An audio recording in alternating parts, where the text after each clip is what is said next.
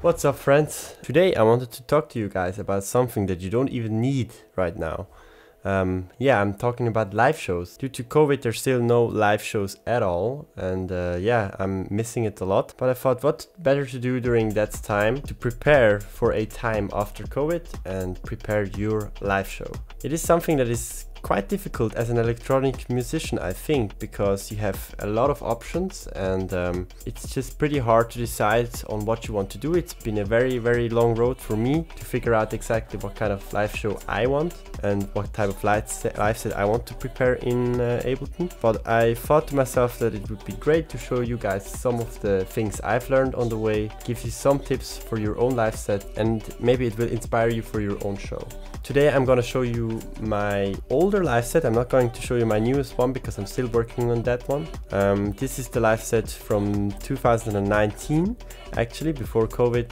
Uh, I played this set at Zurich Open Air, which uh, looked like this and uh, yeah it worked great so I think that's uh, a great uh, set to go through with you guys and um, show you some of the techniques. I also have to uh, say something about uh, live sets in general for electronic musicians. You have to determine from the beginning how much you want to do live and how much you want to be pre made or automatically play because you only have two hands if you're alone and if you're not a group uh, so you you're not able to play every single instrument at the same time. And also maybe you can't play an instrument uh, like me you're not a trained pianist or a trained guitarist so you have to find a way to perform live without just being a DJ with your Pioneer deck but, but still be able to comfortably um, perform a live set even though if you're even if you're not a, uh, a trained pianist.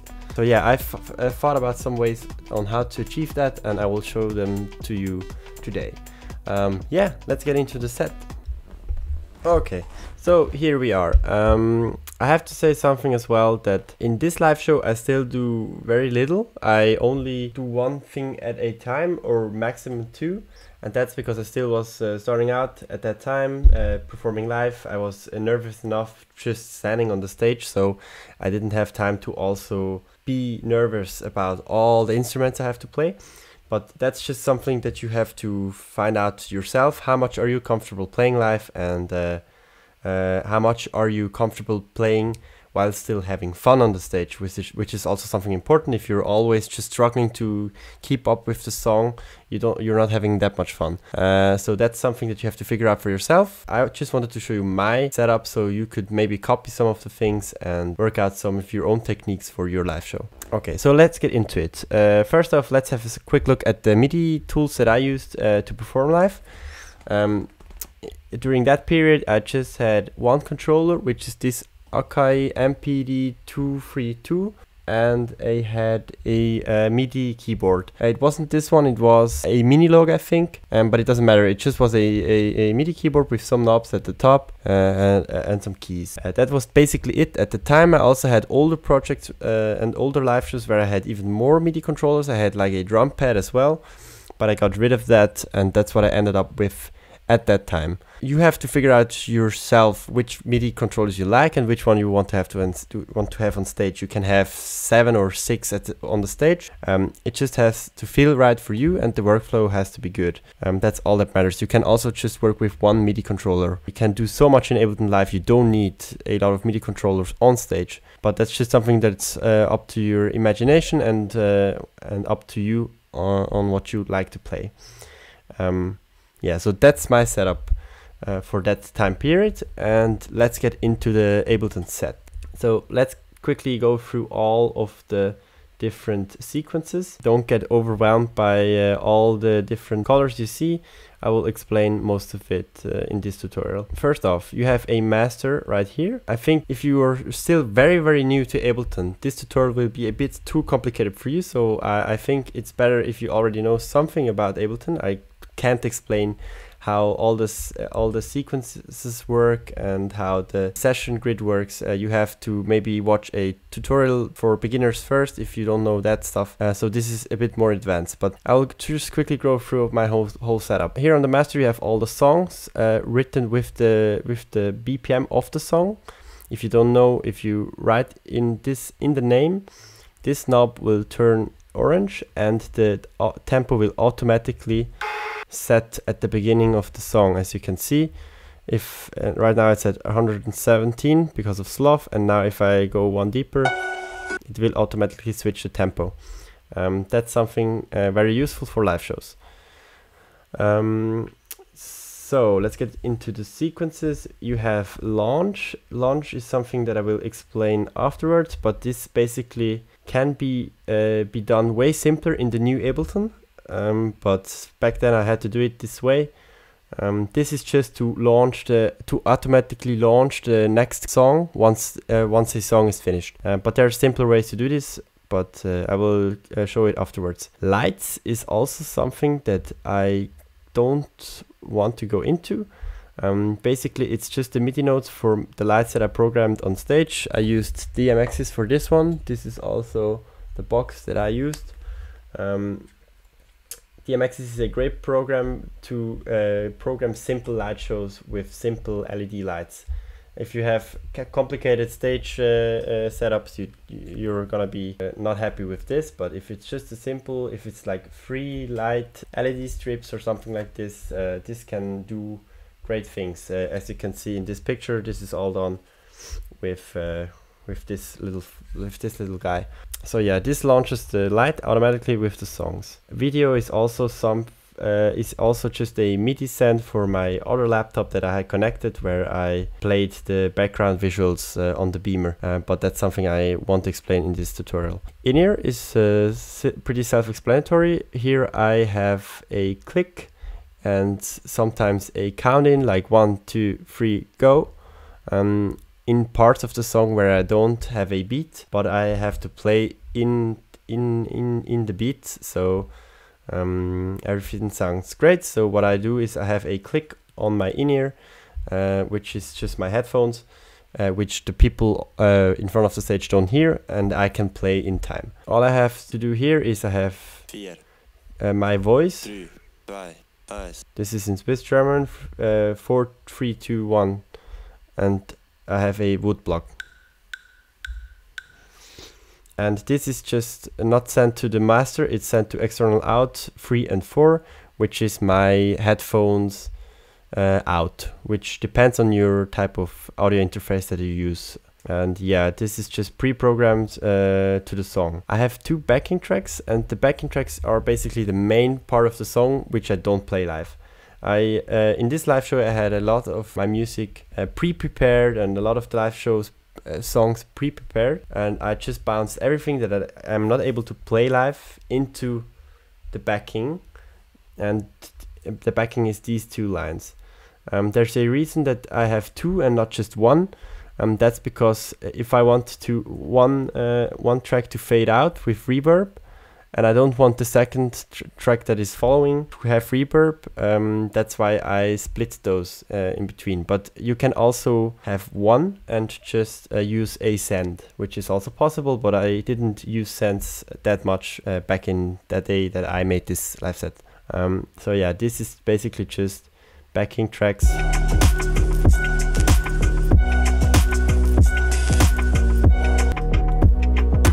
This is basically just backing tracks where all the parts of the song are in that I don't play live, that are played automatically. Um, so here we will have, we'll probably get back to those as well in a later part of the tutorial. Um, so here we have Korg Minilogue. Uh, yes, exactly. This is just replaced now with my complete, but I have a piano setup, um, which just uh, takes the MIDI just from this channel. So if I play something on my MPD, which is on channel 2. I don't play those notes. I don't play those notes as well. These two are basically my instrument lines and what they do is on both of them I have an instrument rack with different instruments from every every song with a chain assigned to it. So if you click on chain if you have an instrument rack and you click on chain you have those blue bars um, and you uh, if you have a lead for example you have from the first track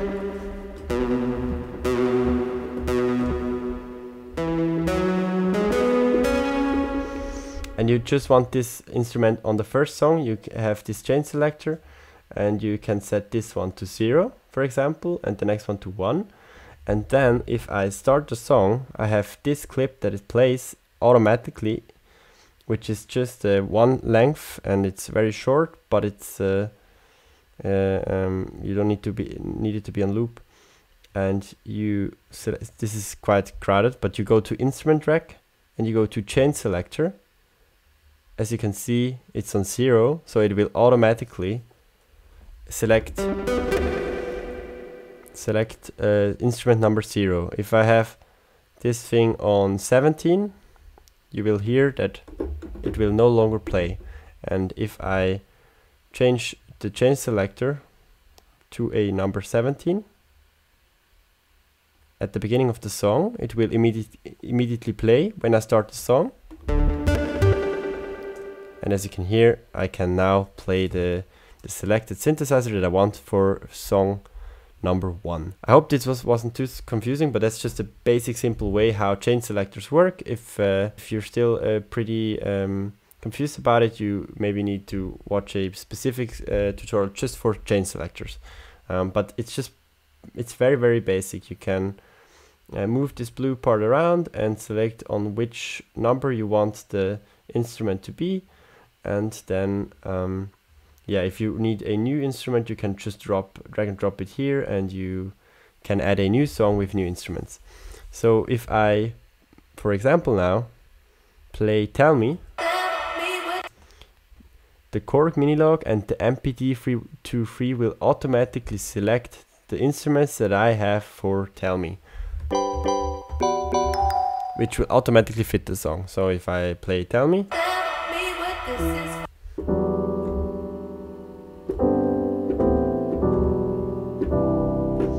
piano of Tell Me is automatically selected and is good to go.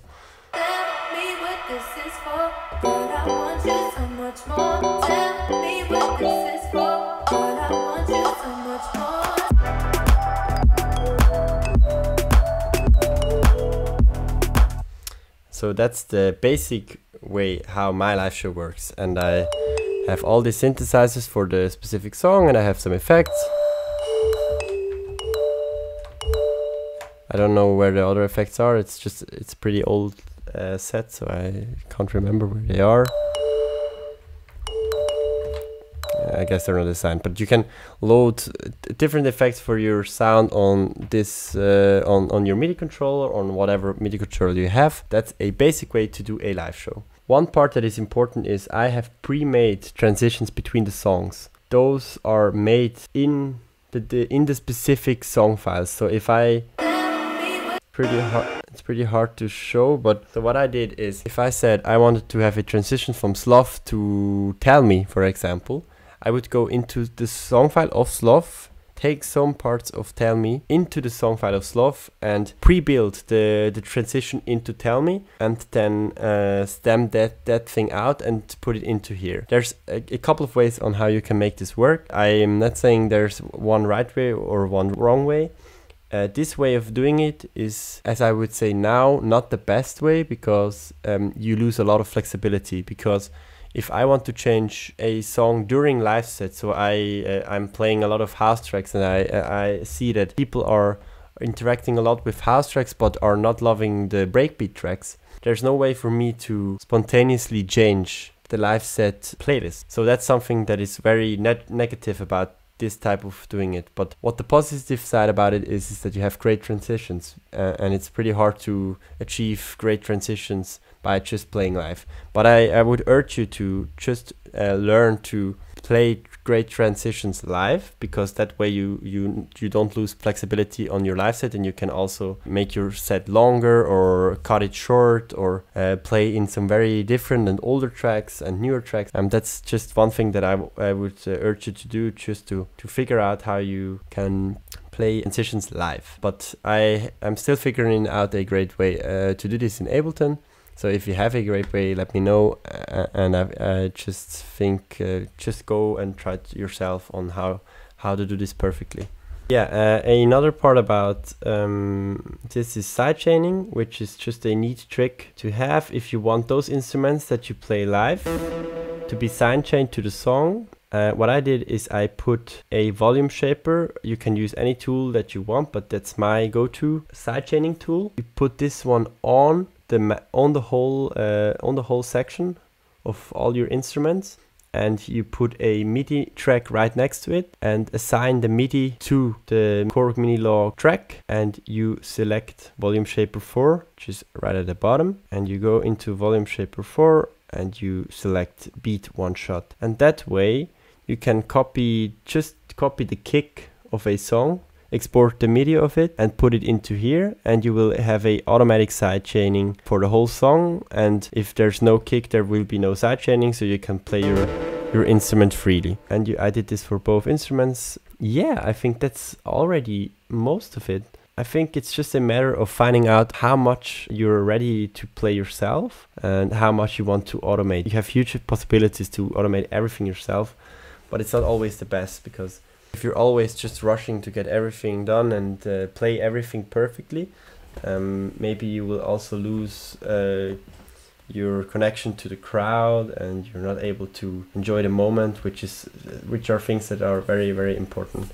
So let's quickly address the last part that I wanted to show you guys, which is the launch section that I uh, um, talked about in the beginning, uh, which is a automatic way to play the next song. Um, I'll just quickly redo this uh, from scratch so you guys know what I'm talking about. So a basic way to do it is make make a MIDI track. You have to arm it always, otherwise it doesn't work. You uh, take MIDI from all channels and you go to your MIDI options. You have to um, open this tab. Uh, I will delete the current one because otherwise uh, it doesn't work. You have to click on this play button right here. And now what you want to do is maybe, for example, go to your keyboard, select all the octaves, go all the way down your octaves and pre press the lowest note on your keyboard that you have. If I do this, I have note C2. Now note C2 is assigned to playing the next clip you won't have the problem of ever hitting note C2 by accident because it's like four octaves down and no song uses this. Um, but just make sure that you don't have any song files where this note is used otherwise because then it will uh, have uh, complications. So now if I go to play recite and I play the lowest note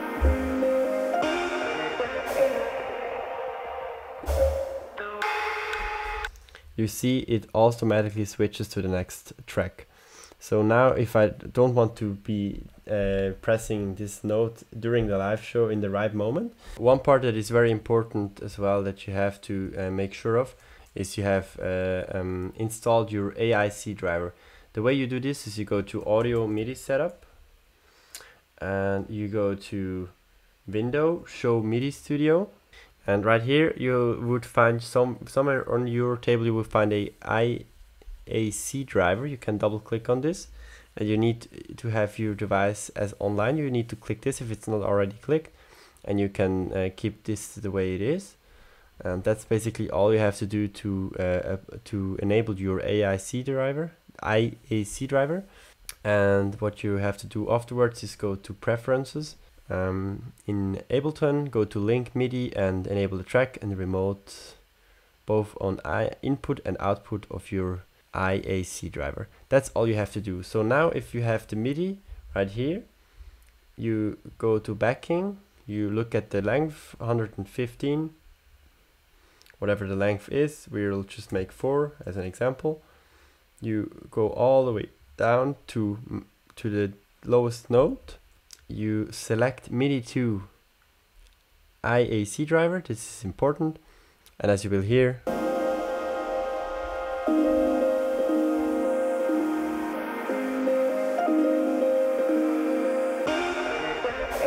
it will automatically play the next track. And that's basically how you do it.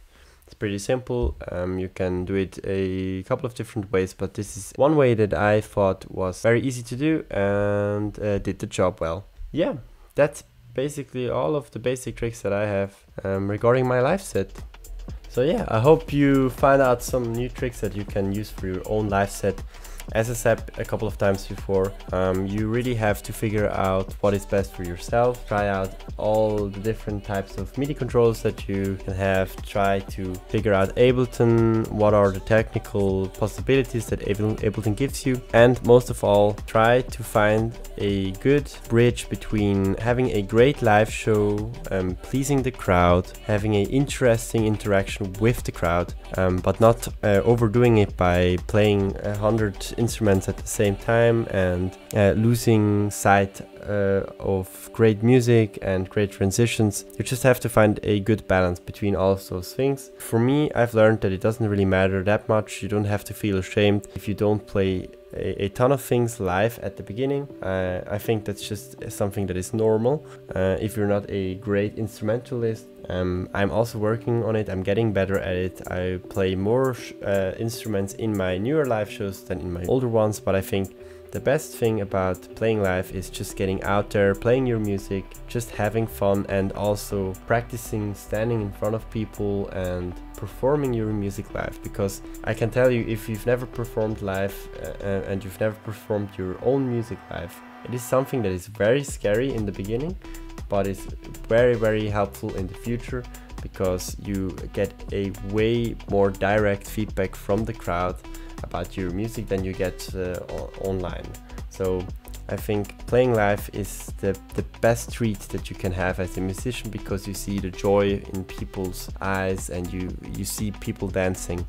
And I think that's something that you have to strive for. So yeah, if you haven't already, get out there, try to play new shows, use this time during COVID uh, where there are no live shows at all to prepare your live set and just uh, play your music out there. This is the best way you can get to people is by playing it live uh, uh, and just uh, making it a great show. Yeah, guys, stay at it, um, have a great time, and stay healthy and safe.